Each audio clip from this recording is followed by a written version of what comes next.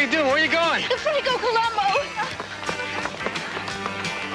Sure doesn't take much to attract a crowd around here. Ocean pure, seaweed with tofu. I eat it, and my body deserves the best. Beautiful, Franco. Really nice. But uh, girity a little more to your destra. I want to get some sole on your faccia there. Got a star filter in the pack. I want to get lots of glitz off his arms in this shot. You know what I mean? I'm going for a punk look. Chic. But, oh, that's terrific, Franco. Veramente sensazionale. Oil him up. We'll go for a take. Wow, look at that. Catch those obliques, man. No, man, it's the arms. Look at those guns. Who is that guy? Are you kidding? That's Franco Columbu, one of the world's greatest bodybuilders. Mr. World, Mr. Olympia, Mr. Everything. Oh, yeah?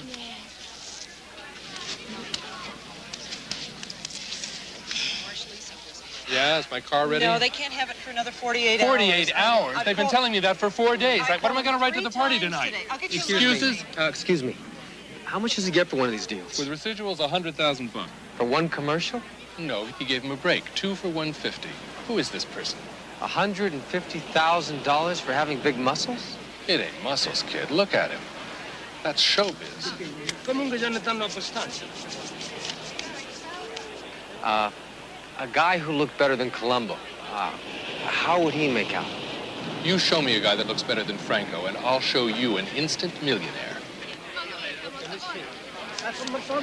Thank